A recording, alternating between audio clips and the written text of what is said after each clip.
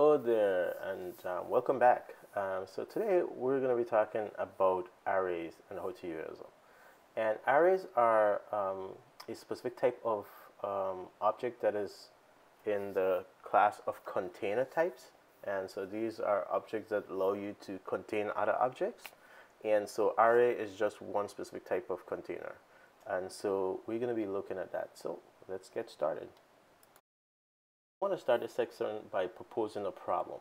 Suppose that we're asked to record the temperature um, at 8, three times a day, at 8 o'clock, 12 o'clock, and 6 p.m. Or you want to do it. Sorry, somebody asked you, but let's say. Um, you're interested in those temperatures because 8 o'clock is when you're about to leave to work and you want out to be dressed. And 12 o'clock is when you get out for lunch and you kind of want to know what the temperature is like going to be then, whether you should go out or not and six o'clock is when you kind of on your way home and you would like to know what the temperature is like at that time. And so you're going to do this daily. So uh, we know there's seven days in a week. So we're going to say that on day one you know these are the readings that you have. Uh, day two these are the readings you have and so on and so on right? And so those are our readings there. You know the problem. We're going to need to record values um, for different days and multiple values per day. So let me introduce you to an array. And this is my definition.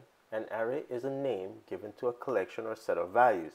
We know what a value is. A value is the thing that you get, the result you get from a computation or evaluation of an expression, right? And we haven't talked very much about the formal definition of an expression, but you kind of know what an expression is. And so what are the benefits? What does an array give you? An array gives you the ability to group um, related values um, together. And so those values don't have to be the same type, so it doesn't have to be all integer or anything like that.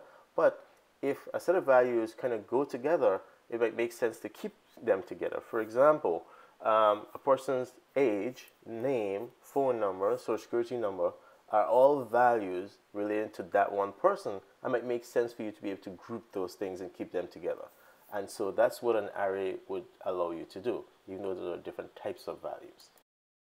Let's revisit the values we collected for, you know, our temperature readings. And um, you could look at these and you could see immediately that there's some natural grouping that's happening here, right? You have the three values readings per day, um, and then you can even see another grouping, which is um, a grouping of the weekly reading, right? You take all the seven daily reading, and that's form another group, which is a weekly reading, and you can keep going on. You can say, well, I have monthly reading and yearly reading, and you could just keep um, nesting as much as you like. So this idea of grouping things just follows sometimes um, very, what say, obviously um, when we have certain type of problems that we need to just group values, and the array gives us the ability to do that. So the only thing seem to be missing now is we see a usage for, for array already, but is how do you use them? And so here's uh, the syntax and uh, I'd say the compact form of it is very simple. You have a left square bracket and right square bracket enclosing those values which we're going to call element. Each one of those values we call an element and so you just come and separate them in as many as you like. And then there's a more formal definition that looks like this new array and then the same thing. Um, as you can see, the first one is shorter and, and compact, so really no reason, and they're exactly the same, no difference between the two and there's really no reason for you to be using the second one unless you really like typing or something like that. But other than that, um, it's it's the same. And the second one is basically you know just making it um, uh, let's see explicit that you're creating an object, just like when we saw when we started talking about values, the example for a date. But we'll ignore that. We'll revisit all these. And so let's just um, go look at some code and see how you can use this and um, see what we get, right? So, so let's go look at code. Um, I've written down those numbers that we had for the um, temperature of the day for each day. And so I assigned them to different variables. So for day one, I have the three temperatures. And again, we're going to say that oh, this is for like 8 o'clock, 12 o'clock, and about 6 p.m. in the afternoon.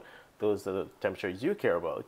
And so that's all you need to do is write, literally write them down almost, of, almost the same exact way that you would probably write them in a sentence uh, except, you know, and with come in between. And so um, there they are. And if we can, and I'm going to print out one of them. And so JavaScript understands how to print arrays.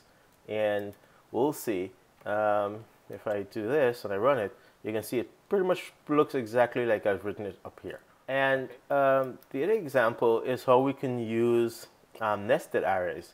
And so since I already had day one, day two, and all this other stuff, um, these other arrays, individual arrays, I can create even a new array or another grouping. So I could have the daily grouping, and then I got a grouping for weeks. And so this is week one grouping, and I could, you know, populate it with the um, temperatures for those days. And so now when you might notice something here, I put this backslash n. Don't spend too much time thinking about it. When you run your, your example, you can run it with and without it and notice the difference. But basically, I mean it's insert a new line. And that's just to make it look a little bit nice.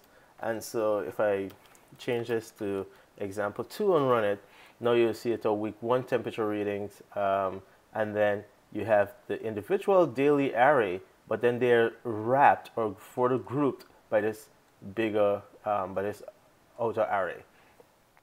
And that's enough for this video. Uh, we're still not finished with array yet, so we will continue in the next video talking about how to access individual elements, how to call some functions that are provided on arrays and so on. We'll do more. But for now, this is enough. And so what did we learn today? We learned um, array allow you to group related values and how to create them is fairly simple. And we also learned that Java console can print out arrays.